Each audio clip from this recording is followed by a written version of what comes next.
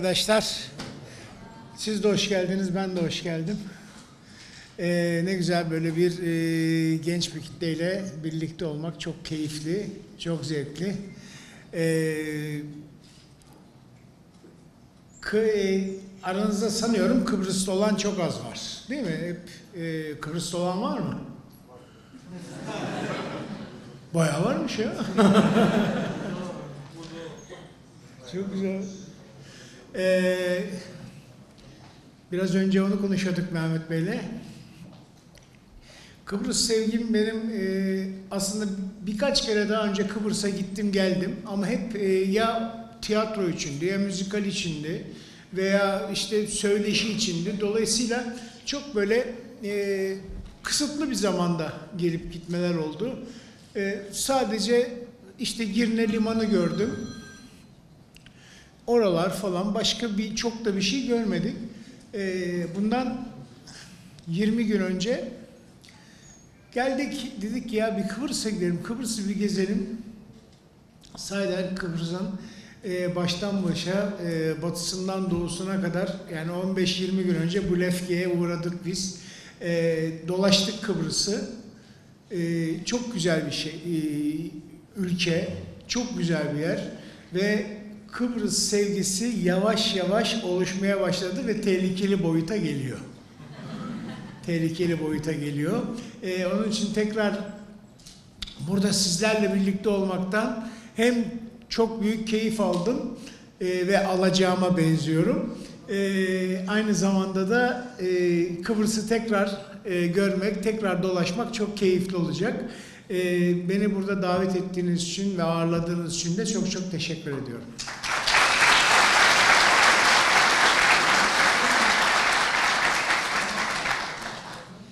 Ee, bence sanıyorum e, soracağınız sorularınız çok vardır.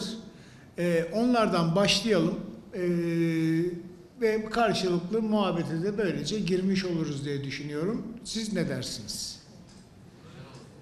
Tamam, o zaman başlayalım. Evet, buyurun. Hoş geldiniz. Hoş bulduk. Rasim Bey'e bir sormak istiyorum. Geçenlerde Hasan Bey'in kavuğunu devraldınız. Ferhat Şensoy tarafından. Bu an neler hissettiniz biraz? Musa Bey, an yaşar beraber onunla falan izlediğimiz kadarıyla. Evet. Ve o kavuğun önemini biraz açıklar mısınız sizin için de? Tabii. Ee, bir kere gerçekten çok duygusal anlar yaşandı. Ben e, tiyatro e, derler ya işte kulis tozu yutan, sahne e, tozu yutan bir daha iflah olmaz kolay kolay derler. Sahiden de bu aslında bu bağlılık, tiyatroya olan bağlılık e, ciddi bir manevi bağlılıktır. E, yorulursun, edersin, beş kuruş para kazanmazsın. Para kazanmanın da dışında cebinden de para verirsin. E, fakat e, selama çıktığında o aldığın alkış e, her şeye değer. E, o anlar, o duygusal anlar bir oyuncu için çok değerlidir, çok önemlidir. E, ben o gün e, aşağı yukarı 35 yıldır tiyatro oyunculuk yapıyorum, tiyatroculuk yapıyorum. 35 yıldır e, bir sürü oyunda oynadım. Bir sürü acayip alkışlar aldım ama o gün aldığım alkış çok başka bir alkıştı. Yani e, tabii ki o alkışın içinde aslında biraz da ustamdan beratımı almanın da getirdiği bir gurur ve onur da vardı. E, hepsi birleşince çok acayip bir duygu seli oldu. E, hem işin çok ilginç tarafı Ee, ben o ses tiyatrosunda aşağı yukarı 20-25 yıl oynadım.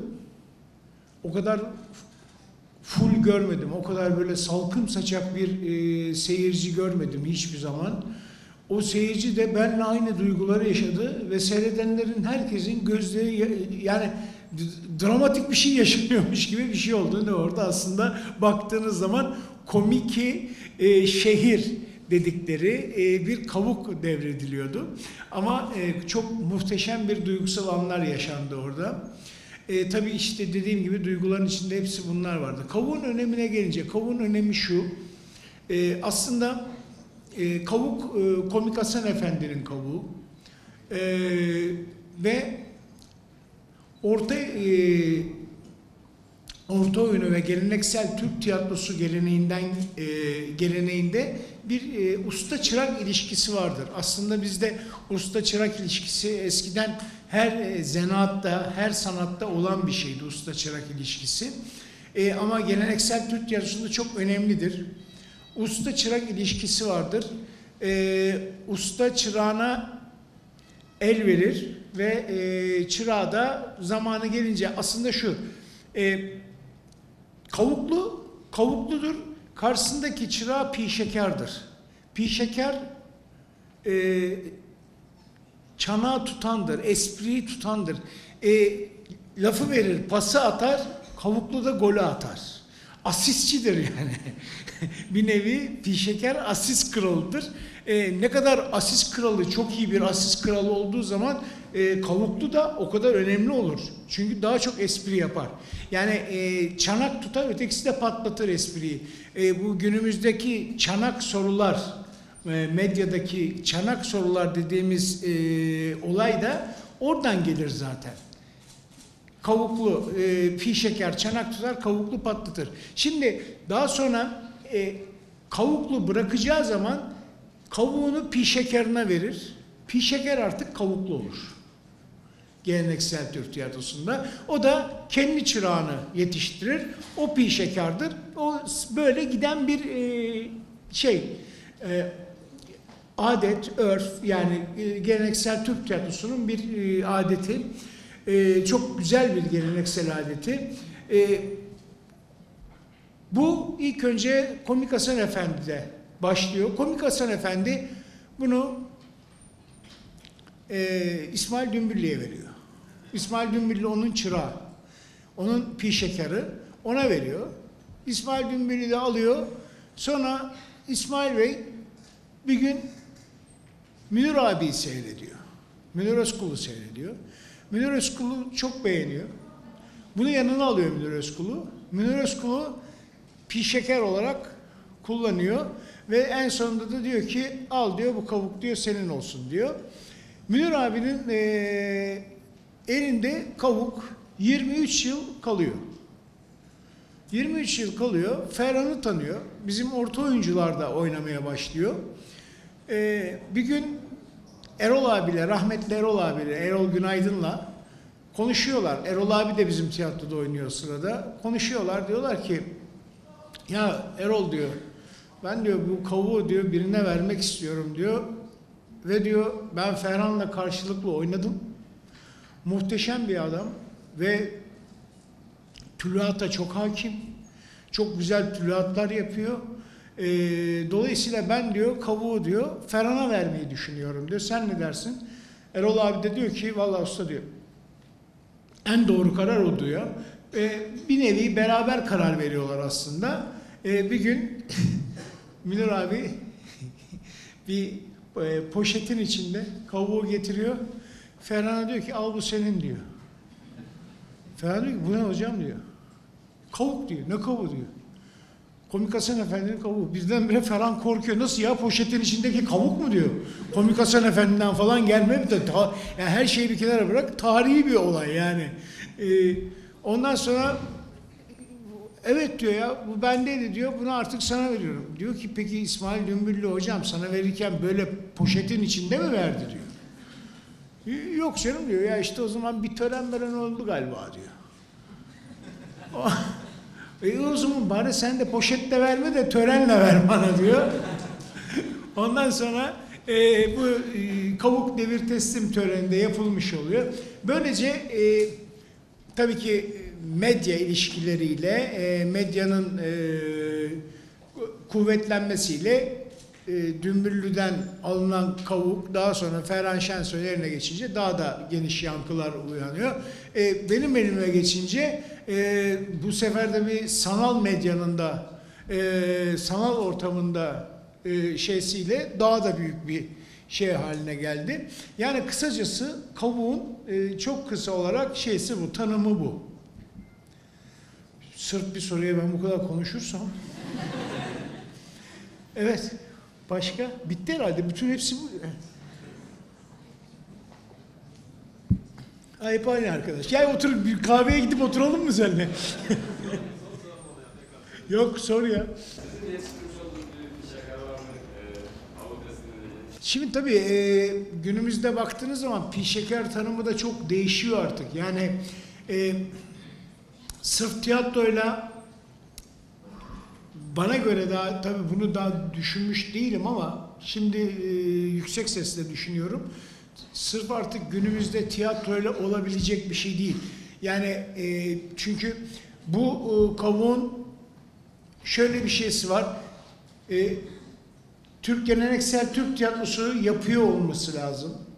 Ee, artı komik olması lazım ve halkın sevdiği birisi olması lazım. Şimdi bu e, şeyler e, niteliklerin olması gerekiyor. Dolayısıyla şu anda tabii ki benim beraber çalıştığım dizide olsun, tiyatroda olsun, sinemada olsun beraber çalıştığım arkadaşlar var. Genç arkadaşlar var. Böyle Daha da olacaktır zaten. Ama bir sürü e, genç arkadaşlar var benimle beraber çalışan. Ben işte onların hocasıyım demiyorum ama işte yani e, genç yetenek arkadaşlarımız var. E, ileride de onlardan veya daha sonra gelecek birisi bu kavuğun adaylarından biri olacaktır. Öncelikle üniversitemize hoş geldiniz. Teşekkürler. Ee, bu soruyu sormak için hatta sete gelmeyi düşünüyordum ama burada karşımda bulunan biz sizi sakallı ve bıyıklı bekliyorduk ama herhalde İstanbul'da unuttunuz onları. Sakal bıyık. Ya şey, saç ve bıyık. Ha, sa- saç ve bıyık. Ben zaten e, tek izlediğim dizi 80'ler dizisi. Orada aslında hem 2000'leri hem 90'ları 70'leri bütün harmanlanmış ve 80'lerde birleştirilmiş bir dizi. Orada bir şeyiniz var, söyleminiz var. Tabii çok gel, e, çok doğru diyorsunuz, çok doğru. Yani onu bir daha yapabilir misiniz? Aynı çok da en doğrusu.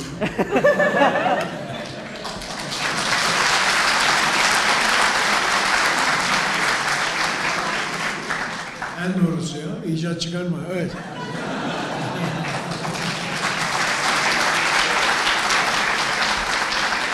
Bir orada e, en sevdiğim de düşündükçe sinirleniyorum, sinirlendikçe düşünüyorum, kısa döngüye giriyorum. evet. Şey soracaktım. Ee, siz tiyatroya nasıl başladınız ve başladığınızda hani herkes toy olan toydur ve kendine inanır mı inanmaz mı bilmiyorum. Siz kendinize inandınız mı? Hani ben ileride hayal kurduğunuzda ben böyle bir yere gelebilir miydim dediniz mi? Ya biz e, 80 kuşağı çok hayallerde kurmuyorduk herhalde. Yani e, bizim o sırada tek yapmak istediğimiz şey tiyatroydu. Yani bir şekilde tiyatro yapalım. Yoksa işte şuraya geliriz, böyle oluruz, işte kavuğu alacağım falan. Hiç öyle bir şey bir Kavuğun e, şeysinden beri haberimiz yoktu. E, olayından bile haberimiz yoktu ama şöyle bir isteğimiz vardı. Tiyatro yapmak. Yani e, ben tiyatroya amatör olarak başladığımda ilk e, amatörlüğüm Kadıköy Halk Eğitim Merkezi'dir. E, Kadıköy Halk Eğitim Merkezi'nde başladım. Orada amatör çalışmalara başladık. Sonra e, birinci MC hükümeti geldi. Sıkı yönetim ilan edildi. E, halk eğitim merkezlerinin şeysi iptal edildi. E, çalışmaları iptal edildi. E, yasaklandı. Kapatıldı. Sonra Ee, Üsküdar'da bir Sunar e, tiyatrosu vardı. İstanbul Akademik Sanatçılar Topluluğu. Orada birkaç arkadaş e, bir araya geldik. Yani daha önce gelmişlerdi. Ben de onlara dahil oldum. Ee, güzel bir tiyatromuz vardı. Ankara Sanat Tiyatrosu'na benzer böyle İstanbul Akademik Sanatçılar Topluluğu falan gibi. Ee, sonra ikinci MC hükümeti geldi. Bu sefer orası kapandı. Sonra biz bir arkadaşlarla tekrar amatör e, tiyatro yapalım falan derken e, 12 Eylül geldi. Yine kapandı. Yani devamlı e, kapandı yaptığımız şey ama biz yani yılmadık o sırada. Devamlı yapmaya devam ettik. E, yani benim bunu birkaç kere daha anlattım. E, bir sürü yerde röportajda da söyledim. Biz üç arkadaş e, Ali Poyrazoğlu bir şey açmıştı. E, kurs açmıştı. Kursa da öğrenci seçiyordu. E, amatör öğrenciler seçiyordu. Biz de o yarışmaya girdik üç arkadaş. Fakat öğleden sonra neticeleri aldık, kazanamamışız. Tiyatro kursunu kazanamamışız. Ee, Beyoğlu'na çıktık. Beyoğlu'na gezerken bir baktık orada orta oyuncular şahları da vururlar diye bir oyun oynuyor. O sırada Ferhan Şensoy'un tiyatrosu. Ferhan Şensoy'u hiç tanınmıyor. Orta oyuncular hiç tanınmıyor, hiç bilinmiyor. Ee, onlar da genç bir ekip. Ama Ferhan daha yeni Fransa'dan gelmiş falan böyle bir e, genç. Gittik e, bizim yanımızda bir arkadaşımız var Samsunlu o da. Dedi ki Ferhan Şensoy dedi benim abimin dedi akademiden dedi arkadaşı dedi. İstersen bir gidip konuşalım. Hadi biz daldık oraya. Dedik ki böyle böyle biz tiyatro yapmak istiyoruz abi. Amatör tiyatro yapmak istiyorsa ya ben de amatörlerle çok çalışmak istiyorum. Gelin dedi ben dedi bir amatör kadro kurdum. Siz de onlara e, ilave olun dedi ama dedi orası çok kalabalık oldu. Size de dedi ayrı bir tiyatro kuralım. Yani ayrı bir amatör topluluk kuralım. E, kurduğu tiyatronun adı Nöbetçi Tiyatro'ydu. Amatörlerle çalıştı. Biz e, 4-3 kişiydik. Sonra bize bir 5 kişi daha ilave oldu. Bizimki de kısaca tiyatro oldu. Böylece orada amatör tiyatroya başladık. Yani bir yerden girip bir şekilde yani bugün bana soruyorlar ben nasıl tiyatrocu olacağım? Ya bunun bir kitabı yok ki. Abi şunu takip edeceksin, bunu yapacaksın, bunu yapacaksın ve tiyatrocu olacaksın diye bir şey yok. Ya tiyatrocu olmak isteyen bir şekilde oluyor işte. Yani e, ona bir gönül vermek lazım ve o gönül verdiğin gönlünde sonra meyvelerini topluyorsun tabii. Yani e, önce yani bizim zamanımızda işte ben e, şimdi şöyle bir şey var tabii. Bizim zamanımızda bunlar yoktu. Şimdi e, konservatuarlar var. Bir sürü konservatuar var. O konservatuarlara e, nasıl öğrenci değil de nasıl e, hoca buluyorlar ben ona şaşıyorum. Yani e, konservatuarı bitirmiş iki yıllık öğrenci daha sahneye çıkmadan orada ders vermeye gidiyor. Nasıl oluyor bu bilmiyorum. E şimdi oradan çıkan çocuğun amacı tiyatro yapmak değil. Tiyatrocu olmak da değil. Bir an önce bir diziye kapak atıp bir reklam filminde oynayıp dizide oynayıp köşeyi dönmek. E, bütün hikaye buna dönüştü ki işte bu işin felaketi aslında. Ciddi bir felaketi. Arada tiyatro yapmak isteyen aslında çok az kişi var. Ee, ama herkesin amacı bu dediğim e, periyodik sırayı izlemek. Dizi, reklam filmi, köşeler dönülüyor. Ee, dolayısıyla da oyunculuktan dediğiniz zaman halbuki halbuki e, şöyle bir gerçek de var. Tabii ki bunları yapacaksın. Tabii ki e, popüler olacaksın. Popüler olduğun zaman aslında yaptığın tiyatroda daha çok anlam kazanıyor. Çünkü daha çok gelen oluyor. O da bir iyi bir şey. Ama e, tiyatrodan uzaklaşıyorlar ama şu çok önemli ki tiyatro e, oyunculuğu insana öğreten bir yer. Yani sahnede durduğun sürece oyunculuğu öğreniyorsun. E, aldığın eğitimler falan fasafiso. Yani e, buradan tıp üniversitesinden bir, tıptan birisi çıksa al birdenbire e, cerrah olarak çıksa e, ameliyata sok öyle kalır. Yani o ancak ameliyat asiste ede ede asiste ede ede öğrenecek. Yavaş yavaş öğrenecek. 20 sene sonra da çok iyi bir cerrah olacak belki. Dolayısıyla tiyatro da böyle bir şey, oyunculuk da böyle bir şey. Oyunculukta sahnede oynaya oynaya seyirci oyunculukta çok önemli bir e, yontma aleti. Bana göre oyuncu bir kütüktür, bir ağaçtır. Sahneye koyarsın, oynadıkça seyirci onu yontar. Ve ufak ufak ne olacağını oluşturur. Eğer kaliteli bir kütükse çok güzel bir mobilya olur. Eğer kalitesiz bir kütükse şömineye atarsın, yakarsın. Yani ama eninde sonunda onu seyirci yapar aslında. Çok hiç anlamadan biz, hiç bilmeden çünkü tiyatro insana şunu verir. Bir gün önce yaptığın yanlışı ertesi gün düzeltme şansın var.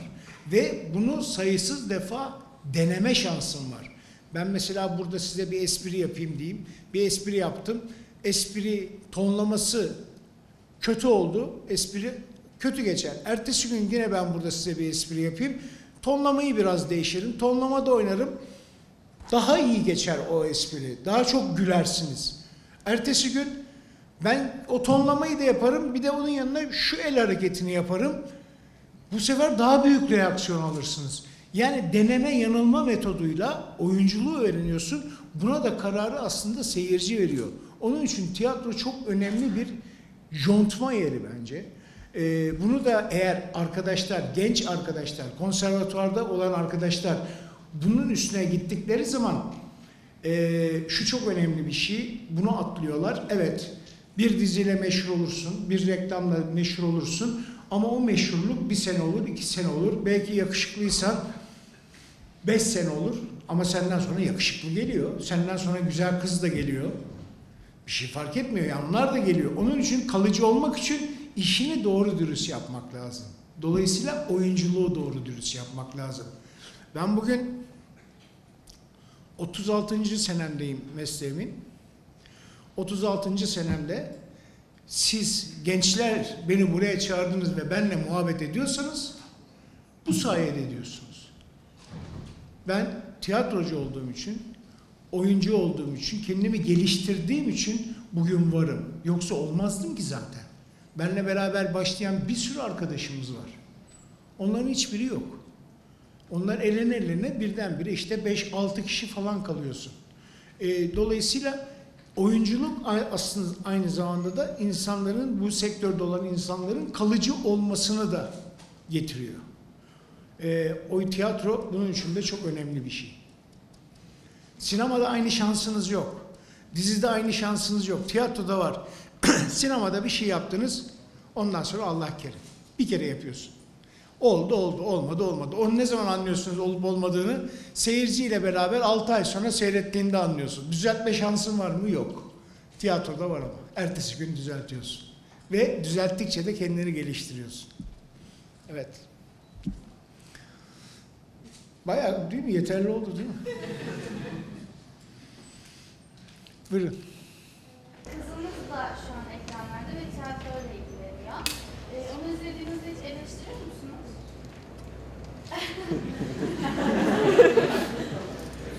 Eleştiriyorum tabii. Ee, eleştirmeden olmam. Ben hala kendimi seyrederken kendime küfrediyorum. Onu niye eleştirmeyeyim? Ee, eleştiriyorum tabii. O- olumlu olarak da eleştiriyorum, olumsuz olarak da eleştiriyorum. Ee, tabii daha çok genç, o da oynaya oynaya, eleştirile eleştirile e, yavaş yavaş gerçekleri bulacaktır. Buyurun.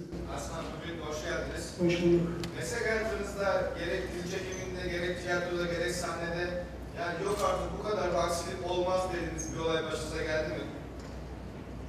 Her filmde. Yalnız varsa elinizde başak söyleriz. Yani e, ya çok bazı şeyler vardır ki adet gibi olur. Mesela ıssız bir yerde çekim yapıyorsundur. Issız bir yerde orası ıssız diye gitmişimdir. Orası birdenbire otobana benzemeye başlar. Her şey geçer. Hiçbir şey olmasa yukarıdan uçak geçer falan. Çekim yapamazsın gürültüden. E, yani Bizim aslında e, filmci arkadaşların özellikle sette çalışan set işçisi arkadaşların e, ciddi bir pratik tarafları var. E, mesela ben Avrupa'da da sette çalıştım. E, onlar en ufak bir aksilik geldiği zaman duruyorlar. Çünkü yani o çıkan aksilik kitapta yazmıyor ya. Bu, burada şöyle yaparsan kurtulur diye. Bizimki bakıyor mesela e, çok enteresan bir şey olur. E, şeylerle çalışıyoruz. Bir İspanyollar e, gelmişti. İspanyollarla çalışıyoruz. Şey e, set işçileri bizim Türk arkadaşlar ama reji meji falan olduğu gibi İspanyol. Bir lamba yukarıdan bir lamba bir türlü yerinde durmuyor. E, onun için demirci çağırdılar. Lambaya işte e, bir destek yapması için alta bir çanak üstüne de destek yapması için yanlardan duvardan öyle şeyler sipariş verdiler falan. Bizim e, set işçisi baktı çıktı oraya yukarı iple tutturup altına da kibrit kutusunu koydu. Yani şey olmasın diye tamam çekeriz abi dedi. Herkes baktı nasıl olabilir diye. Yani yukarıda iple lamba sarkıyor. E, çok da şey değil duvara. E, şöyle olmaz, olmaması için de şuraya kibrit koy, kutusunu koydu. Onun da tampon yaptı. Biz çekime devam ettik. İspanyollar şey bitti hala inceliyorlar onu nasıl yaptılar diye. Yani e, Allah'tan e, sette çalışan arkadaşlarımız çok pratik. E, o yüzden de yani filmleri bırakın ama e, dizilerde sahiden çok acayip şeyler yaşanıyor. Yani e, bugün çekilen diziler en azı 120 dakika. 2 saat. En azı 150 dakika isteyen kanallar var. Yani bir filmden bile uzun aslında bunlar. Yani bir film 90 dakikadır normal boyutu. Yani güzel bir hikayedir. Ya işte 100 dakika falan olur, 110 dakika olur. 120 dakika en azı dizilerin 130-140 diye de gidiyor. Bunu bir film en az iki ayda çekiliyor. Bu diziler beş günde çekiliyor. Yani ve size e, ciddi olarak şunu söylüyorum. Bütün yapılan işler ciddi bir kalite var. Yani o beş günde çektiğim bir filmi öyle bir kalitede çekemezsin yani imkan yok. E, bu yani bizim arkadaşların ciddi bir başarısıdır. Yani e, Avrupalı falan, Amerikalı falan gelse aptallaşır. Nasıl olabilir diyor yani beş günde film çekmek. Ya film kalitesine yakın diziler var ve bunlar beş günde çekiliyor. Gerçekten bu başlı başına bir e, olay mesela. Başlı başına bir olay. Ben size e, ilk e, Kavgaya filmindeki sürgün rolünüzde tanıdım.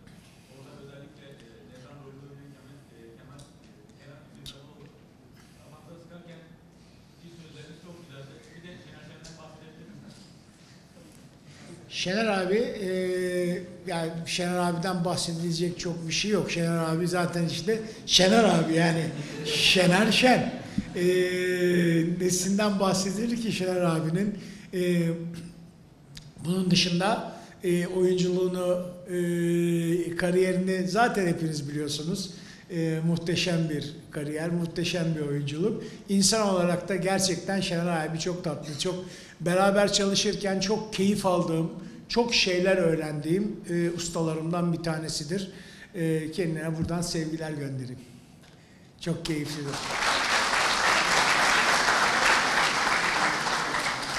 Bazı güzellikler vardır. Bizim e, mesleğin en güzel tarafı bu. E, küçükken işte lisede okurken, ortaokulda okurken hayranlıkla seyrettiğin insanlarla belli bir zaman sonunda aynı sahnede karşı karşıya oynayabiliyorsun. Aynı e, kamerada karşı karşıya oynayabiliyorsun. E, bunları yaşayabiliyorsun. Bu bizim mesleğimizin güzel taraflarının en, en önemlisi. E, ben mesela e, 86 yılıydı. Ferhan geldi, bir yeni bir oyun oynuyorduk. Ferhan geldi dedi ki e, önümüzdeki hafta yeni bir oyunun provalarına başlıyoruz dedi. Ve aramızda şey dedi, aramıza dedi, Münir Özkul'la dedi, Erol Günaydın da katılıyor dedi. Ya ben bir hafta uyuyamadım ki. Ya nasıl olabilir Münir Özkul, Erol Günaydın? Yani ben yıllarca hayranlıkla onları seyretmişim. Yani e, ve birdenbire onunla karşılıklı oynamaya başlıyorum. Bu e, işte biraz önce hayal etmediğim bir şeydi. Bunun hayalini bile kuramazdım ki ben o dönemde. Bunun hayalini bile kuramazdım ama birdenbire onu karşında görüyorsun ve onunla biz e, Münir abiyle 10 yıl, e, Erol abiyle de en az e, 15 yıl karşılıklı oynadık. Dünyanın en büyük keyfi Tuncel Kurtiz'le herkese onunla beraber karşılıklı oynadık. Büyük de keyif alırdık karşılıklı oynamaktan.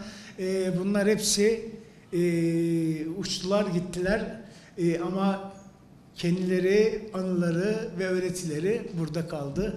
Onlar da buradan tabii Münir abi e, gitmedi ama e, Erol abiyle Tuncer abiden bahsediyorum. E, burada onların her öğretisi, her anısı onları da buradan e, minnetle anıyorum.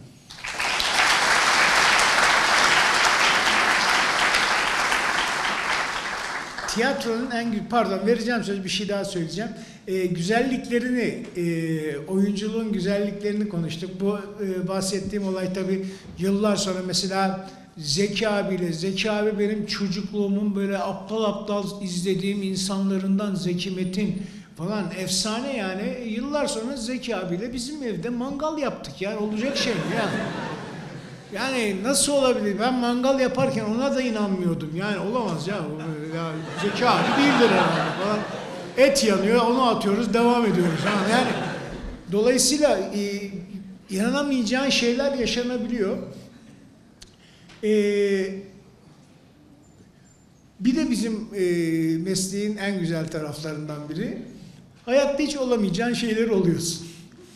O bir, bir müddet seni o götürüyor, idare ediyor. Mesela fabrikatör oluyorsun. Yatım var, katım her şeyin var.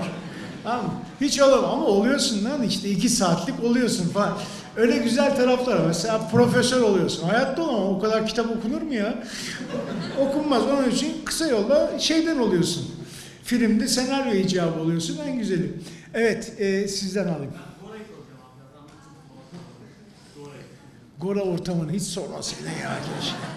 Mesela biraz önce soran arkadaşa eee, yani neler yaşıyorsunuz, terslikler falan dedin ya mesela Gora eee, ciddi terslikti, acayipti mesela.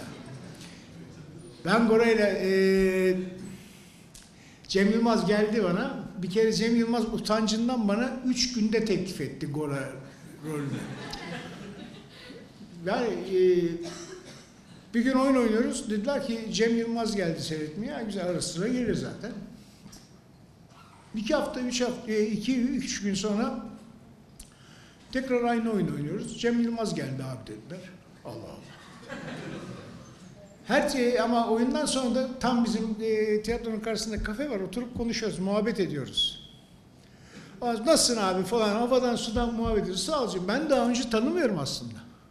Daha önce bir tanışıklığımız da yok. E, konuşuyoruz, ediyoruz falan.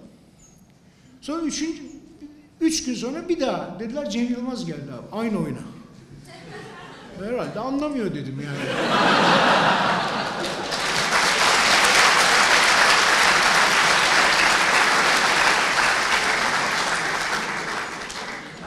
Ondan sonra e, çıktım gene biz kafedeyiz karşılıklı. Bana Gora'yı anlatmaya başladı. Ama öyle bir şey anlatıyor ki yani e, böyle bir uçuyorum falan anlamında ve acayip işte uzay falan şudur budur anlattı anlattı anlattı. İşte kendi oynayacağı Arif'i anlattı. E, Robot 2 216'yı anlattı. Ondan sonra e, Bob Marley Faruk'u anlattı falan. Anlatıyor anlatıyor falan. Dedim, abi dedi nasıl dedi. Çok güzel dedim. Ondan sonra tamam abi falan dedi. İyi dedi. Kalktı. Döndü giderken dedi ki ya abi dedi ya senden bir şey rica edeceğim. Buyurun. Ya Bob Marley Faruk'u oynar mısın? ya üçüncüsünde e, böyle bir şey. Ya oynarım tabii. Niye oynamayayım Cem dedim. Ya anlattığım muhteşem bir tip dedim. Oynarım tabii. Havalara uçtu falan. Ertesi günde tekst geldi zaten. Şimdi biz böyle başladık ve e, ilk başta başladığımızda şuydu. E, Mayıs'ta çekecektik. E, aşağı yukarı filmde iki ay sürecekti ama benim bir ay işim vardı. Mayıs'ın başında başlayacaktı. Mayıs sonunda bitecekti. Film Antalya'da çekilecekti. E, güzel, iklim de uygun. 10 Mayıs Antalya'nın en güzel zamanları.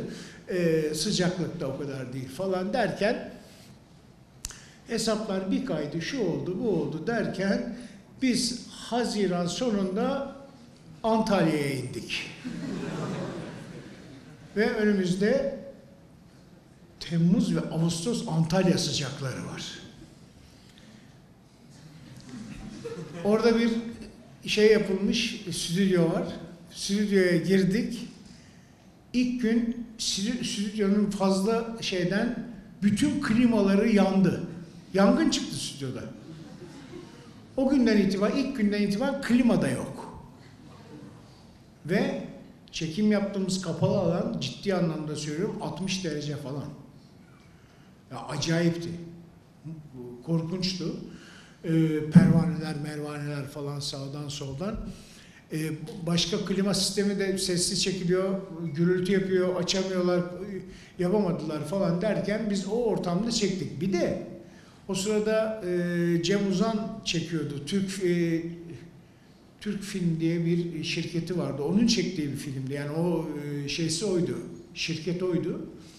E, onun şirketine el koydu TMSF. E, birdenbire şimdi biz önemli değiliz. Oyuncular çok önemli değildir de setteki diğer arkadaş, çalışan arkadaşlar iki gün para almazsa çalışmazlar, bırakırlar. Biz hıyarızdır, biz devam ederiz yani tamam mı? Sanat manat falan yer, yeriz yani biz onun parayı tamam mı? Ama onlar ama gerçekçi. Ya para yoksa ben de yok. Ulan ne sanatı? Çok doğrular yani. Ondan sonra bize geliyorlar tam çekime gideceğim abi iptal set. Ne? İstanbul'dan para gelmedi e, set iptal oldu.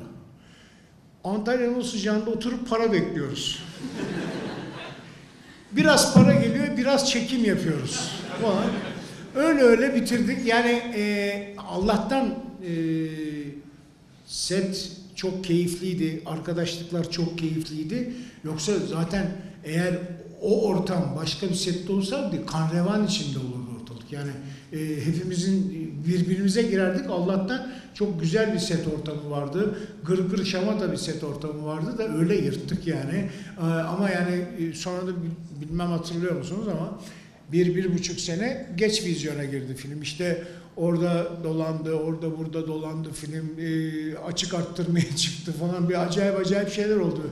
Bir filmin başına gelecek en kötü şeyler geldi aslında onun başına ama finalde de çok güzel bir film oldu. Evet, Öncelikle hoş geldiniz. hoş bulduk. Fanatik bir Galatasaraylı olduğunuzu biliyoruz. Fanatik değilim, Galatasaraylıyım ama fanatik değilim. Ee, her, Fanatiklik başka bir şey ve sevmediğim bir şey. aynen. Ee, maçlara giderken e, ne hissediyorsunuz ve hayatınızdaki Galatasaray'ın yerini öğrenmek istiyorum. Ee, hayatımda Galatasaray şöyle, e, ben biraz e, içinden geliyorum. Yani bizim ailede de bir Galatasaray e, geleneği vardır. E, bizim ailede üç kişi Galatasaray Lisesi mezunudur. E, ben de Galatasaray Lisesi'ndenimdir. E, öyle bir şeyden de geliyoruz. Dolayısıyla oradan gelen bir şey ama e, onu yaşadıkça daha da böyle e, tutkulu bir hale geliyorsun. Maça giderken e, ya ben hiçbir zaman şey sevmem yani öyle çok büyük konuşmayı sevmem. Maçtan sonra konuşmayı severim. E, öyle mesela e, eşim de Fenerbahçelidir.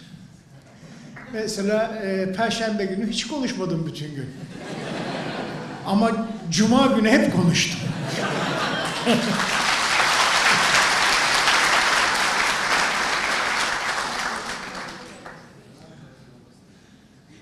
Evet. Abi tekrar hoş geldin. Düğünden renk 1'i 2'yi çektiniz de 3 olacak mı? Ee, yani bu sene başka bir film çekilecek. Ee, üç de yani Düğün Dernek 3 değil ama. O da belli değil. Geçenlerde beraberdik ama onlar da kararsız, biz de kararsız. Be- belli değil yani daha. O zaman çekmemek lazım zaten. Aynen. Oradan bir soru geliyordu evet. Hocam uzun yıllardır bu işin içindesiniz. Ee, sinema, sinema ve tiyatro sektörü. Ee, sinema ve tiyatronun geçmişten şimdiye kadar kalitesi nasıl arttı veya azaldı? Hakkında ne düşünüyorsunuz ve geleceğe? Sinemanın mı? Sinema ve tiyatro. Zaten ikisi birbiriyle doğru orantılı olarak işlemiyor mu? Çok değil. Çok değil. Ee, aslında tiyatroyla sinema çok birbirinden ayrılan çok farklı şeyler. Ee, ben ee, şöyle bakıyorum olaya. Tiyatroya organik tarım diye bakıyorum. Ee, sinemaya hormonlu tarım diye bakıyorum. Ee, çünkü sinemanın gerçekten bir sürü desteği var. Ee, teknolojik desteği var. Teknik destekleri var. Ee, her şeyden yararlanabiliyorsun sinemada. Ama e, tiyatro e, çok daha kısa... Otur ya rahatsız oluyorum. Ee, tiyatro çok daha kısıtlı. Ee, ama bir o kadar da doğal. Tiyatronun o doğal tarafı var. Ve evet şu anda e, tiyatro çok parlak değil. Biz eskiden e, oyun oynadığımızda işte haftada biz 9 oyun oynardık. Salı, çarşamba, perşembe, cuma, cuma. Bir tek pazartesimiz boştu. Çarşamba, cumartesi, pazarda matine suarı oynardık. 9 oyun ederdi haftada. Pazartesi günleri de turneye giderdik. Şimdi bir oyun çıkartıyorsun, haftada bir oyun oynuyorsun. Ancak doluyor. Ee, bu tiyatronun can çekişmesi demek. Ee, ama ben eninde sonunda nasıl ki o işte o örneği onun için verdim. Organik tarımın yavaş yavaş kıymeti artmaya başladı. İşte e, yavaş yavaş değerlenmeye başladı. Tiyatroda doğal olduğu için ileride daha da değerlenecektir diye düşünüyorum. Yani hiçbir zaman kopmayacaktır, var olacaktır ve giderek de e, altın gibi değerlenecektir tiyatro. E, ikisinin arasındaki gelişme e, yani bu zaten doğal bir şey gelişiyor olması. Ama e, özellikle sinemada ciddi bir e, gelişme var. Yani Türk sinemasına baktığın zaman aslında e, bundan 40 sene önce, 50 sene önce çekilen o siyah beyaz Türk filmleri de birer efsanedir. O koşullarda çekildiği koşullara göre bakıldığınız zaman acayip birer efsanedir. Her film ciddi bir hikayesi olan filmlerdir. Ee, ama tabii ki teknolojinin şeysiyle artık şu da var. Ee, çok da bir globalleşen bir dünyada yaşıyoruz. Ee, dolayısıyla kültürler, e, fikirler artık çok bir iç içe girmeye başlamış vaziyette. E, globalleşen bir ülkede sinema tabii ki daha çok ilerleyecektir. İlerlemesinin nedeni de şudur. Mesela atıyorum e, reklamcılık çok ilerlemiştir. Neden reklamcılık çok ilerlemiştir? Çünkü uluslararası firmalar girmiştir. Uluslararası firma bugün e, diyelim ki bir kola firması Amerika'da bir reklam filmi yayınlıyorsa sende yayınlanacak reklam filminin de aynı kalitede olmasını istiyor. En azından o kaliteye yakın olmasını istiyor. Dolayısıyla bu ne? Teknik olarak oranın tekniklerini getirmek zorunluluğu geliyor sana. Ama bunda ciddi paralar olduğu için bunu yapabiliyorsun. E, teknik para, e, olayları getirebiliyorsun buraya istediğin paralara ve o filmlere yakın filmler üretiyorsun. Dolayısıyla bu neyi getiriyor? Yavaş yavaş bu reklamlardaki e, ciddi olarak yükseliş, e, daha doğrusu firmaların beklentisi üzerine yapılan yükseliş Türk sinemasına da yansıyor. Çünkü e, sektörün içindeki aynı kişiler, aynı yönetmen bir reklam filmi çekiyor, gidiyor, film de çekiyor. Aynı kameraman gidiyor, bir reklam filmi çekiyor, gidiyor, bir de e, film çekiyor. Dolayısıyla böyle bir e, global bir iteleme de var. E, dolayısıyla e, Türk filmi, Türk sineması e, bence çok güzel yerlere geliyor. E, aradan çok çok e, Nuri Bilge Ceylan falan gibi işte muhteşem e, işler çıkıyor. E, ve daha da çıkacaktır yani. Efendim?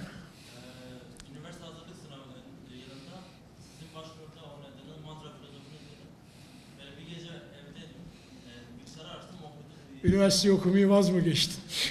Orada okudum, yatağı geçtim ya düşünüyorum. Kitabı aldım elime, Sokrates'in işte düşüncelerini.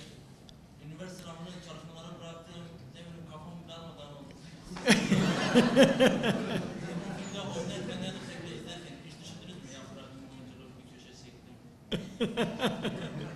ya e, Mandıra filozofunu çekerken çekerken kaptırıp gidiyorsun aslında e, çok bilincinde olmuyorsun. Evet o rolü çalışıyorsun, ediyorsun, mantığını çözüyorsun ama kendin işin içinde olduğu için çok e, şey olmuyorsun. Böyle e, özümseye, olaya çok şey yapamıyorsun. Böyle yukarıdan bakamıyorsun.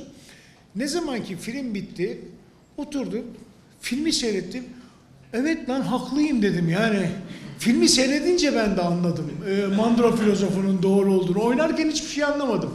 Çünkü içindeyim, kaptırmış gidiyorum. Bir şekilde başka şeyler düşünüyorsun, başka şeylerde kafan. Ama seyrettiğin zaman e, sahiden de öyle evet. Yani e, biraz biz eşimle de Mandra filozofu gibi yaşayamıyoruz tabii, yaşayamıyoruz ama e, hatta geçen gün bir şey oldu. E, ona dedim yani yaptığın iş bir hafta sonrası için garanti değil mi? Var elinde evet. Senin yaşantın garanti mi? Değil. O zaman bırak o iş dursun, sen yaşamaya devam et. Dolayısıyla e, etkileniyor tabii, etkileniyor. Ben ben çok etkilendim. Etkilendim, senin de etkilenmen de çok doğal. Hala var. Bizim çok arkadaşlar var. Ee, mesela e, doktor arkadaşlar var. Ee, filmden sonra e, Ege'ye falan yerleşen bir sürü arkadaşlarımız oldu. Gerçekten oldu. Evet. Oralarda birisi vardı. Evet. Hayatınızda tiyatro olmasaydı yaparım dediğiniz bir meslek var mı? Var mı? Herhalde boş dolaşmazdım. Bir şey yapardım. Ama yani e, ya ben mesela gençken tır şoförü olmak istiyordum. Ya, ya en büyük arzum benim ehliyetim yoktu, abimin vardı. Onunla beraber tır şoförlüğü yapmak. Ona kullandıracaktım, kakalayacaktım herhalde onu. Yani e, bilmiyorum ama gerçekten tır şoförlüğü yapmak istiyordum ama e, ne olurdu bilemem. E, ama sorsanız şimdi ne bir daha dünyaya gelsen ne olmak istersin? Yine oyuncu olmak isterim. Evet. Kırmızı Tiyatro Kulübü olarak sizler burada görmekten duyuyoruz. Sağ olun. Ee, birkaç arkadaşımız burada, diğer üyelerim şu an sahneye yazıyorlar. Akşam altıda oyunumuz var. Sizler burada görmekten mutluluk duyuyoruz ve bütün arkadaşlarımı davet ediyorum sinema salonunda. Ee, benim iki sorum olacaktı. Ee, tavuğu aldığınız gün törenin, e, törenin ardından yaptığınız bir Ferhan Şansoy'da röportaj vardı. Ee, Ferhan Şansoy oradaki röportajında e, genç tiyatrocuların artık e, yavaş yavaş e, yanlış tabir belki bilmiyorum ama kalitesinin giderek azaldığını ve kabuğu hak etmediklerini ve şu an öyle bir e, sizden sonraki kabul alacak kişinin olmadığını öngörmüştü. E, siz bunu nasıl değerlendiriyorsunuz? Ve ikinci sorum olarak da bu zamana kadar e, kabul hep bir erkek oyuncular, orta oyuncular almıştı. Sizce neden bir kadın e, oyuncu kabul hak etmesin ya da almasın? Evet. Ee, o zaman e, o gün ustanın söylediği aslında biraz önce benim e, size anlatmak istediklerim biraz. E, gençlerin tiyatroya yani e, benden önce benden sonra ben aldıktan sonra bir sürü isim e, dolaştı e, etrafta. Ama mesela e, tabii bunlar e, ar- arkadaşların gönüllerindeki olan insanlar. Ama e, aslına baktığınız zaman bu kavuk yılın e, komiğine verilmiyor. Bir geleneksel tiyatro yapmış olacak, tiyatro yapmış olacak. E, dolayısıyla bunların arasından birilerine veriyor. Geleneksel Türk tiyatrosuna bir katkısı olmuş olacak. E, bunlara veriliyor. Onun da demek istediği biraz önce benim dediğim gibi e, oyunculuğu bırakıp konservatuvardan çıkıp bir an önce reklam filmleri, işte e, diziler, miziler, e, tiyatro kimsenin umurunda değil. Keşke olsa anlamında e, dile getirdiği bir e, şeydi. Bunun dışında ikinci sorun neydi pardon? Neden bir kadın oyuncu kabul Ha evet, e, düşünmüyor değilim. E, aynen, e, hatta e, çok da istiyorum. İnşallah genç bir e, kadın oyuncuya e, kavuğu veririm. E, çok da şık olur, çok da güzel olur diye düşünüyorum. eğer e, kavuğu devretmeden önce e, herhangi bir aksilik olursa içine vasiyetini yazıp koyduğu bir söylenti vardı aslında. Evet. Yok o çıktı zaten o söylenti değil. Bayağı hatta o gün tören günü ben okudum da o e, şeyi. E, vasiyeti okudum da. E, orayı kaçırmışsın da orada tiyatro ile ilgili bir vasiyet yoksa özel hayat? Hayır, kavukla ilgili bir vasiyet.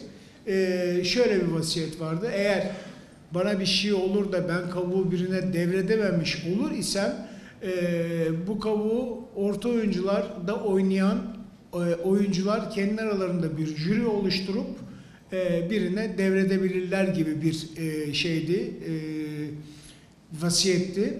E, o vasiyeti ben de aynen o gün de dedim hatta e, içinde kalsın o vasiyet dedim. Benim de bir nevi vasiyetimdir o. Ama inşallah öyle bir vasiyete gerek kalmaz. Buyurun. Ben şey soracaktım. Ee, şimdi her aile çocuğunun ilk başta böyle tam maaşını kazanabileceği bir meslek edinmesini ister. Tiyatroluğu genelde tiyatroculuğu hani hobi olarak da yapabilirsin gözüyle bakılır ve yapma, etme. Hani sen aç mı kalmak istiyorsun denir genelde. Sizin aileniz bu konuda size nasıl destek oldu? Oldu mu? Ya benim ailem bana e, ne destek oldu ne köstek oldu. Hiçbir e, şeysi olmadı. Çünkü ben e, şöyle bir şey oldu. E, ben amatörlükten birdenbire profesyonelliğe geçtim. Yani dolayısıyla ben lise son sınıfta e, profesyonel olmuştum. E, son iki ayda profesyonel olmuştum. Yani lisedeyken artık ben kendi paramı kazanmaya başlamıştım. E, sonra üniversiteye girdim. O devam etti. Ben hem okudum e, hem de e, paramı kazanmaya başladım e, bu işten profesyonel olarak. Fakat rahmetli annem e, bir türlü tiyatronun bir meslek olduğuna e, inanmıyordu. Ve bana her seferinde işte ben geliyorum eve işte dediğim biraz önce dediğim gibi cumartesi pazar matine suare matine suare, suare oynamışım.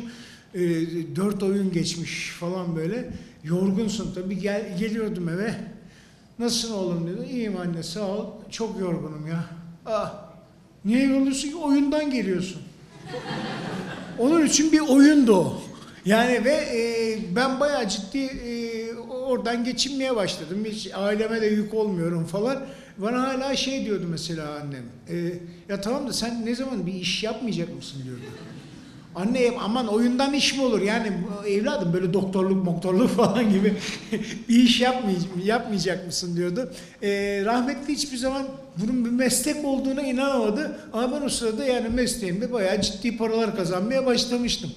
Ee, o inanma ama mesela babam hiç e, köstek de olmadı, destek de olmadı. İstiyorsan yap oğlum dedi. Ee, o bakımdan çok ağzım yanık değil yani. Rahatım o konuda.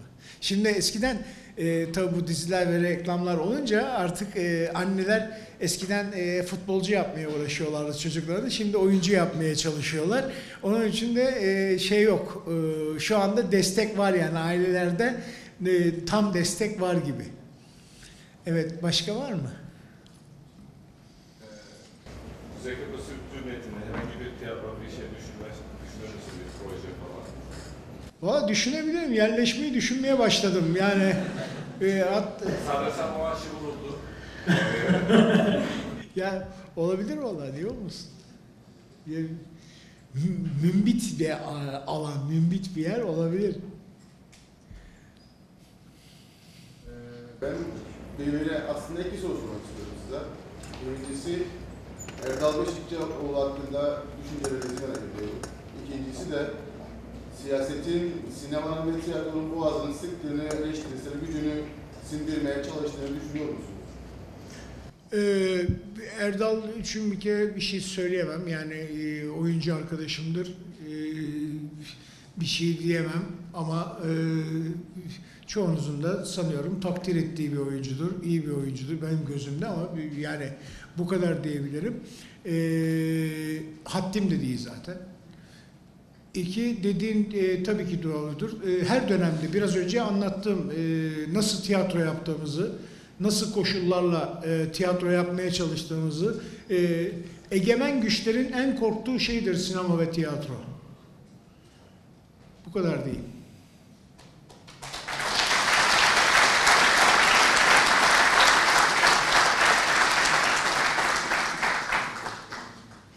Evet.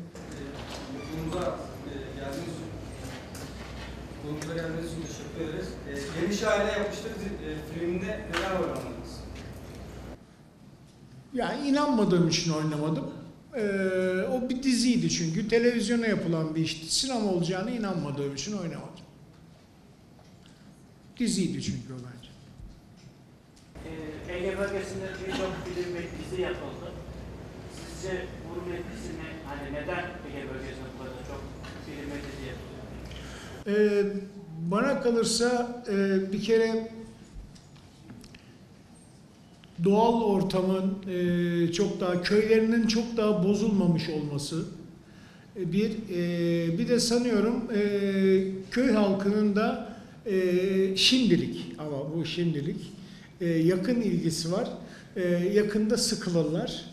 E, çok doğaldır. E, mesela ben İstanbul'da Beykoz'da oturuyorum. Beykoz şimdi İstanbul'un e, stüdyosu gibi. Bütün filmlerin yarısı orada çekiliyor. Dizilerin yarısı orada çekiliyor. Artık Beykoz halkından gına gelmiş vaziyette. Halk e, şey çünkü neden? Maalesef e, biz filmciler girdiğimiz yeri biraz da berbat edip e, bırakıyoruz. E, aynen bütün pisliği bırakıp giden arkadaşlarımız da var. Tabii titiz davranan e, ve e, bu konuda çok titiz olanlar mutlaka var, var zaten yani. Ama e, çoğunluk maalesef e, biz göçebe bir toplumdan geldiğimiz için gittiğimiz yeri mahvetme üzerine e, kurgulanmışız. E, çünkü orayı mahvedip hemen yandık tarafa geçiyoruz. Göçebeyiz çünkü. Onun için sinemacılarda da bu olay çok hakimdir ve giderek de e, oradaki halktan tepkiler almaya başlıyorlar. E, yakında Ege'den kovulabilirler yani belli olmaz. Evet. Türkiye'de çekilen diziler neden 120 dakika ve üzeri? Daha kısa da daha kısa süreli diziler çekilemez mi? Şey süre olarak mı? E, çünkü e, kanalların reyting savaşları var. E, şöyle diyeyim. Biz 80'lere ilk başladığımızda 5 senedir çekiyoruz biliyorsunuz. 80'lere ilk başladığımızda 80 dakikaydı. Sonra 90 dakika oldu. Sonra 100 dakika oldu. 110, 120 ve şu anda 130 çekiyorduk en son. Olay şu, rating savaşları. Şimdi bir dizi başlıyor. Bakın dizi seyrederken bir dizi devamlı seyrettiğiniz bir dizi varken e, bakın e, siz reklama girdi, girdiyseniz çoğu da ötekiler de reklama girmiştir. Aynı anda giriyorlar. Çünkü seyirci kaybetmemek için aynı anda reklama girip aynı anda çıkıyorlar. Bir de şimdi mesela bir tanesi 20 dakika uzun olursa ötek taraftaki seyirciler oraya kaçıyor. Oraya kaçıyor. Son 20 dakikası acayip reyting olarak şişiyor. Ortalamaya vurduğun zaman o önde bitiriyor. Tamamen bir anlamsız bir reyting savaşı var. Ee, bu reyting savaşının kurbanı da e, set çalışta, çalışanları başta olmak üzere en çok onlar mahvoluyor.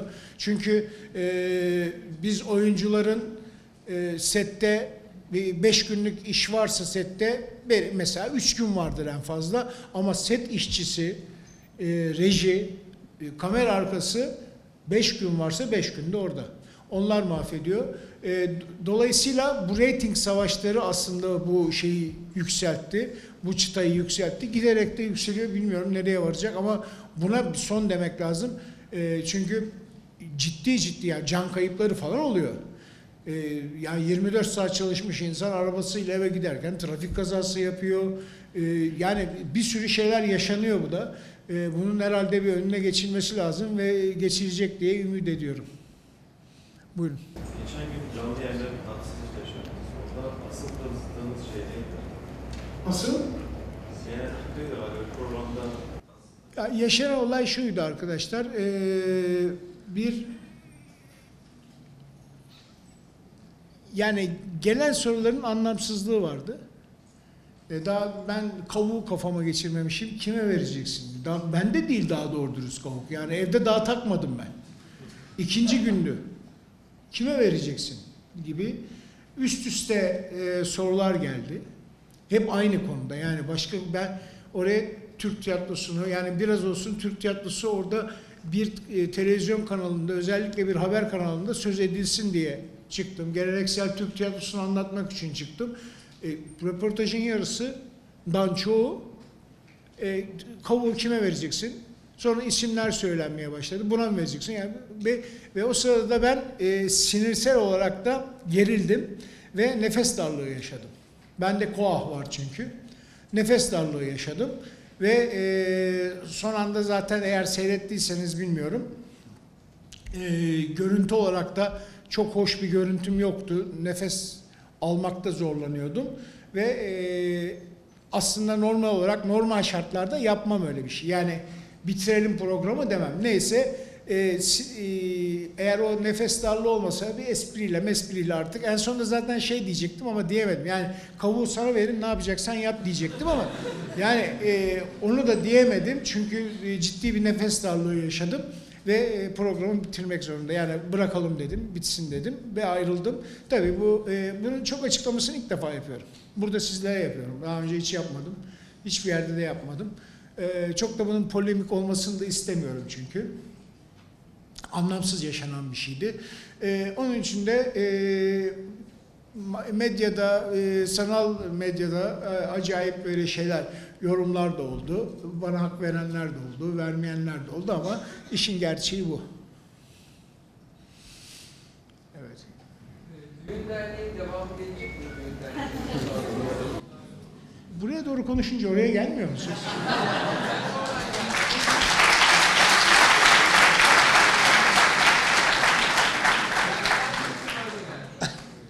Ee, büyük bir ihtimalle gelmeyecek gibi duruyor. Gelmeyecek gibi duruyor. Sivri Ablaları'nın başında olduğu Oyuncular Sendikası'nın başında siz olsaydınız e, daha neler yapmak isterdiniz veya neleri değiştirmek isterdiniz? Yani biraz önce e, ilk yani ilk e, el atılacak mevzu e, sırf oyuncular değil biraz önce dediğim gibi e, set e, çalışanlarının e, ciddi anlamda e, buna ihtiyacı var. E, ciddi insani koşullarda çalışmaya ihtiyacı var. Ben hayatımda bir kere bir filmde insani koşullarda çalıştım. Pardon iki filmde. Bir tanesi İsveç'te çekildi.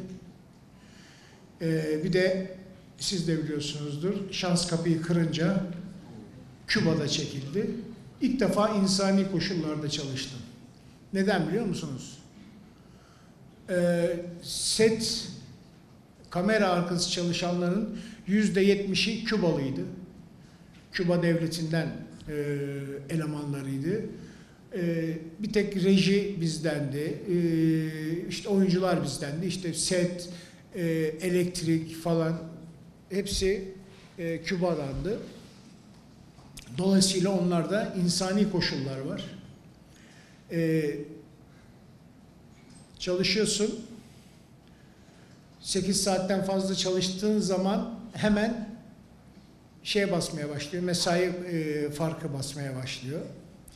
E, bu da hiçbir yapımcının işine gelmiyor. E, hadi o biraz şeyse, ödenebilir bir şeyse devam ediyor ama mesela şu oluyordu, 12'de iş bitiyordu, yarın sabah 7 motor dendi ilk gün. Kübalı tuhaf tuhaf baktı. Nasıl dedi, 12'de bitti dedi, saat 7'de motor mu dedi. Tabii, e, tabii falan dedi, ha ha dedi, gitti adamlar.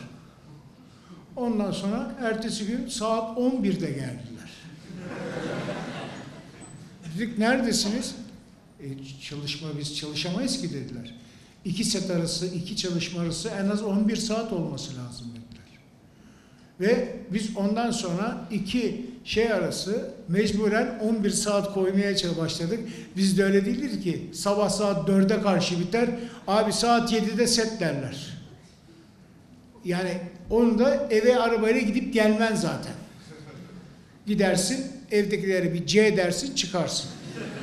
Yani onun için e, ilk defa e, Küba'da insani koşullarda yaşandı.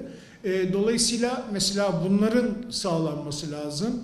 İki, bir de e, ciddi anlamda telif haklarının e, üstüne gidilmesi lazım. Bak müzikçiler bunu başardılar.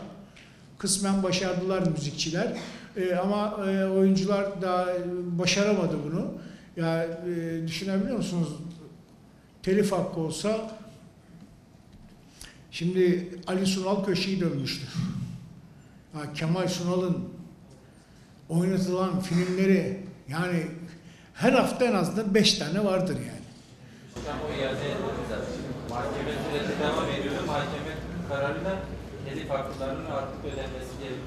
Ama ortada bir şey yok. Ödenmesi söyleniyor. O kadar. Ödeyin denmiyor. Çünkü ödenecek bir e, merci yok, onu takip edecek şey yok. Yani e, mahkeme karar veriyor. Türkiye'de çok kararlar var. Öncelikle hoş geldiniz üniversitemize. Düğün dernek üçün devamı gelecek mi diye sormam. Bence sorun ama ya. Kı- Kıbrıs'ın e, yemeklerinden tattınız mı? Eğer tattıysanız hangi yemeklerini sevdiniz? Kıbrıs'a özgü. Kıbrıs'ın yemeklerini daha e, tam anlamıyla tattık mı ya? Bir yedik tabii. Çok güzel e, yemekler yedik. Böyle özellikle e, şey yedim. Yani e, deniz mahsulleri. E, onların hepsi çok güzeldi. Kıbrıs'ın yemeklerinde hatırlatın ya ne vardı? Şeftali kebabı. Şeftali kebabı. Mu muhteşem bir şey. Molegya ne? O şey mi? Ot. Aslında o Girit yemeğidir değil mi? ne oluyor?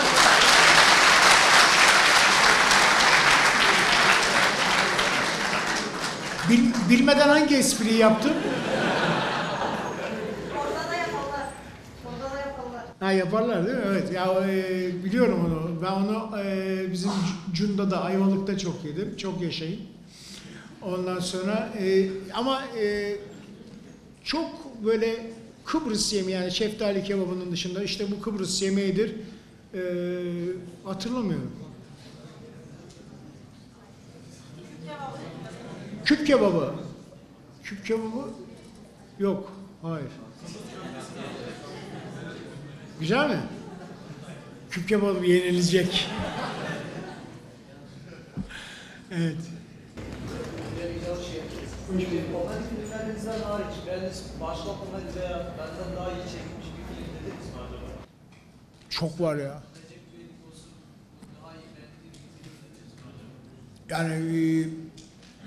en güzeli benim bizim filmlerde diye- diyemem zaten de e, bir sürü çok güzel komedi filmleri var. E, vardır da olacaktır da tabii yani.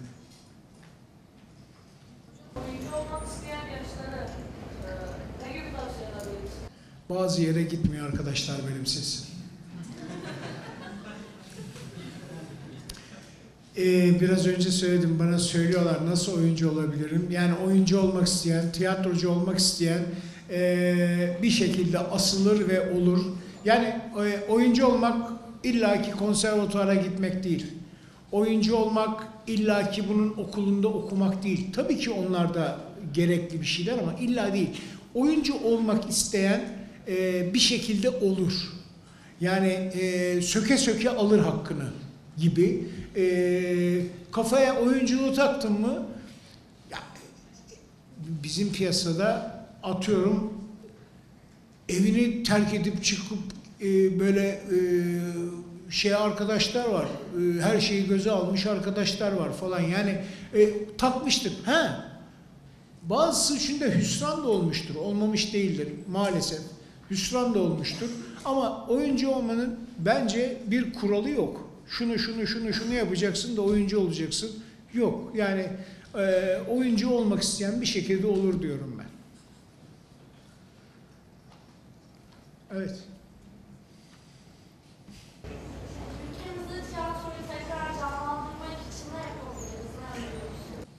Ee, ülkemiz derken buradan mı Türkiye? Ee, yani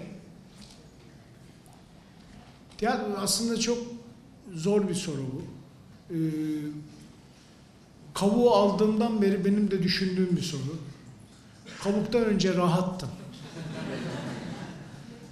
Ee, aldıktan sonra e, bunu da çok e, düşünmeye başladım.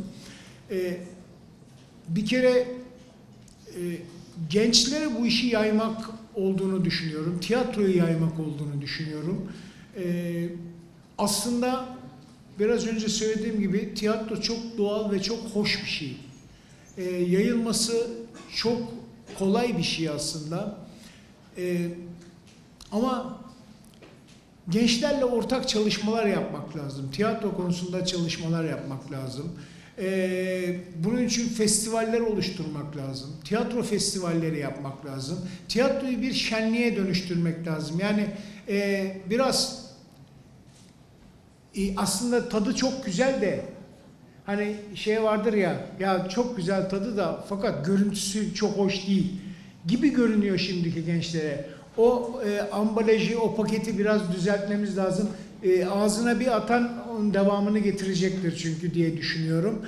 E, festivallerle, gençlik festivalleriyle ve e, özellikle üniversitelerin gençlik festivali sırf ama tiyatro yani kültür festivali değil. Sırf tiyatro ağırlıklı festivaller. Daha çok e, diğer ülkelerle e, yapılan bağlantılar sonucu uluslararası festivaller.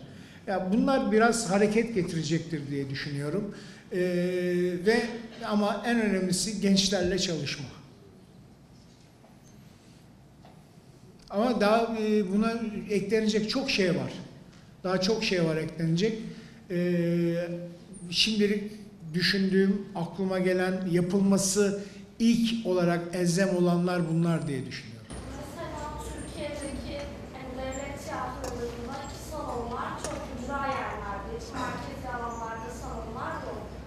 Bunlara diyecek düzenlenirse belki daha canlı. Ya e, Türk tiyatrosunda e, Türkiye'de maalesef bir salon problemi zaten var. Ciddi bir salon problemi var. Ya yapılan salonlar çok sağlıklı değil. Hiç kimsenin anlamadığı insanlar tarafından yapılan salonlar. Öyle salonlarda oynadık ki öyle salona yazık yani akıtılan milyonlara yazık. E, ne akustik var salonda, e, ne doğru dürüst bir soyunma odası var. Yani sahneyle soyunma odası arasında taksiyle gidip gelmen lazım. Yani öyle soyunma odaları var. E, dolayısıyla bir bakıyorsun içeri bir giriyorsun. O görüntü acayip. Kristal avizeler şunlar bunlar ama kulise bir gidiyorsun şey e, Girne'de. So- e, soyunma odası Girne'de. Yani acayip böyle halbuki oraya getirip ya mimar değil de gösteriş değil de ya bir amatör tiyatrocu bir çocuğa sorsalar ya nerede olur bunun kulisi diye sorsalar çocuk söyleyecek onlara. Ya şudur. Ya biz Anadolu'ya turneye giderdik. Anadolu'da bir şart değil. İstanbul'da bile öyle. Turneye giderdik. Hepimiz hemen sahnenin arkasına kendimize e, böyle çardak gibi kulisler yapardık. Oraya çivi çakarak, buraya bilmem askı maskı koyarak. Yok çünkü kulis bilmem nerede. Gitmene ve oradan gidip soyunup yetişmene imkan yok. Giyinip yetişmene imkan yok. Çok bilinçsizce ne yapılan e, şeyler, salonlar var maalesef. E, ve çok az salon var. Yok gibi yani. Ya bugün e, baktığınız zaman İstanbul'da evet bir ses tiyatrosu var. Çok eskiden kalma. O da Ferhan Şensoy'un e, şeysiyle ayakta duruyor. Yani desteğiyle ayakta duruyor. O orada olduğu için duruyor. Ama öyle köklü ve doğru dürüst tiyatro salonu beş tane yok koca İstanbul'da. Yok maalesef. İyi bir tiyatrocu olarak Kıbrıs tiyatro, KKTC tiyatrosunu nasıl buluyorsunuz? Hiç seyretmedim, hiç bilmiyorum ki. Yani bu e, bakma Kıbrıs'ta da üçüncü veya dördüncü gelişim. E, hepsi daha önce dediğim gibi şöyle bir gelip gitmeydi. E, bu ikinci gelişim ki üç gün veya dört gün kalacağım. E, yani hiç gitmedim bilmiyorum. Buradan birisi. komedi filmlerinde ve e, komedi dizilerinde hani şimdiki nesiller hani küfür etmeden komedi yapamıyor. Ve bu yeni nesil için pek de doğru bir şey değil. Yani bu nereye gidecek? Şimdi e, ben şöyle e, ha, bir güldürmek için edilen küfür var ki buna karşıyım. Küfür güldürür diye edilen küfür var. Bir de yaşamın doğal akışı içinde küfür var. Şimdi doğal akışı içindeki küfür filmde de olur, tiyatroda da olur. Çünkü sen orada bir, bir şey yaşamdan bir kesiti alıp e, oraya koyuyorsun. Eğer e, gerçekçiyse, sadece güldürmek amaçlı değilse ve gerekiyorsa orada evet yani ben e, küfüre kesinlikle karşıyım diyemem. Kesinlikle karşı değilim. E, olması gerektiği yerde olmalıdır. Ama salt güldürme adına küfür ediliyorsa o başka bir şey tabii. Yani e, sen mesela küfür seyredemiyorsun. Hiç küfür etmiyor musun? Yani yani sen hatta şey az küfür ediyorlar diyorsun. yani e, dolayısıyla e, hepimiz küfür ediyoruz. E bunu e, sinemada görünce niye bozuluyoruz? Yani e, doğal olarak e, yaşamdan bir kesiti yansıttığı için de sinemada da olur, tiyatroda da olur. Kemal Sunal filmlerini ya da Şener Şen filmlerini izlerken mesela çok az küfür duyarız. Daha çok güleriz. Ama şimdi ne bileyim çok küfür ediliyor.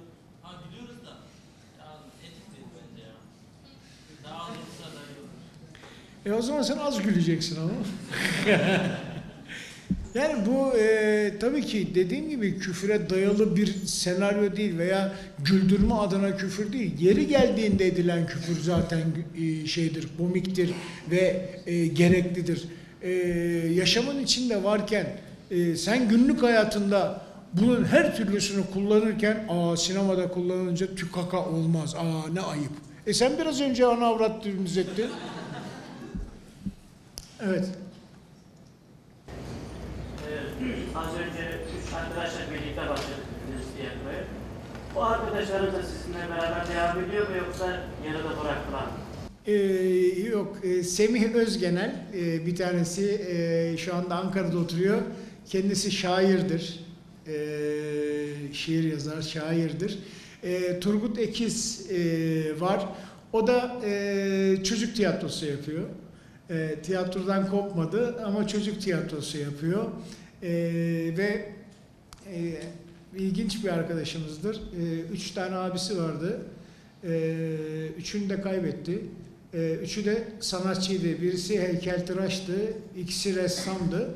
E, onların e, eserlerini derliyor, topluyor. Onların işte e, şeylerini yapıyor şu anda. E, galeri işte e, resim sergilerinde veya heykel sergilerini açıyor. Biraz onlarla uğraşıyor ama e, aynı zamanda da çocuk tiyatrosu yapıyor. Hala görüşüyoruz.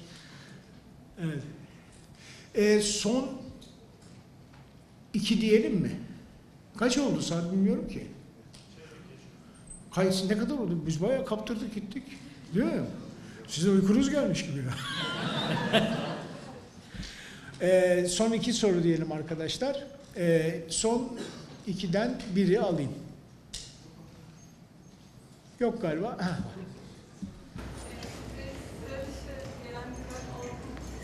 Anlamadım. Sıra dışı gelen bir rol. Ne? Hangisi? Bob Marley Faruk. Evet.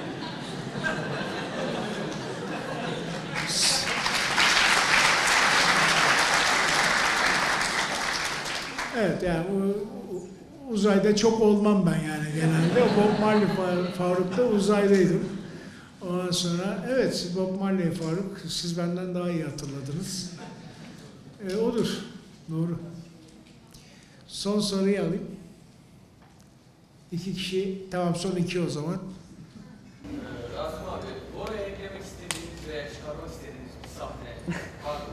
Bir de ağaç sahnesinden.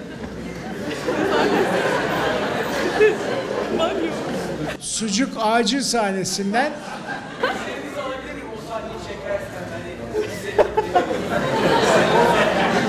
o sahneyi çekerken? De şöyle diyeyim sana. Ee, tabii şey o sucuklar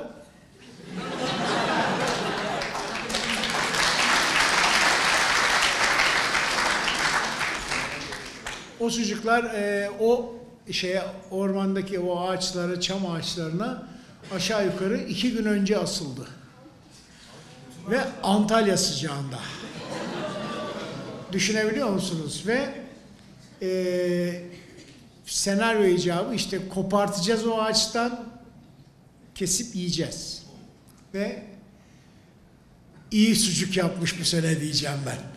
Yani e, ve bunun yanı sıra oturduğumuz yerde böyle bir kum gibi bir e, şey vardı, toprak vardı. E, bir kişi oturuyor mesela, etrafımızda üç kişi. Oturduğumuz yerin etrafındaki akrepleri yakalıyorlar. Böyle bir ortamda çekim yapıyoruz. Bir yandan akrep öldürülüyor, bir yandan da o sucuk, yani dediler ki bize yok abi oradaki sucuk değil, biz başka sucuk aldık ama çok da güvenemiyorsun. Abi, o sucuk yenilecek ama nasıl yenilecek? Ee, dolayısıyla baya böyle bir ızdıraplı ve soru işaretli bir çekimdi. Allah'tan bir şey olmadı bize. Sahiden çocuklar yeni almıştı. İşte orada kızartıp yedik ama ağaçtakileri yeseydik şu anda ben burada yoktum zaten. Evet son soruyu alayım. Biliyorsunuz 80'lerdeki filmin karakterinden bir canlandırma. biraz önce yaptım ya. Ya biraz önce yaptım ya.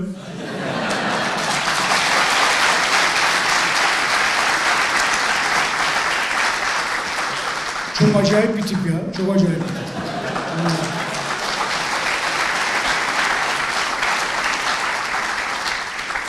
Arkadaşlar hepiniz Allah'a ısmarladık ya.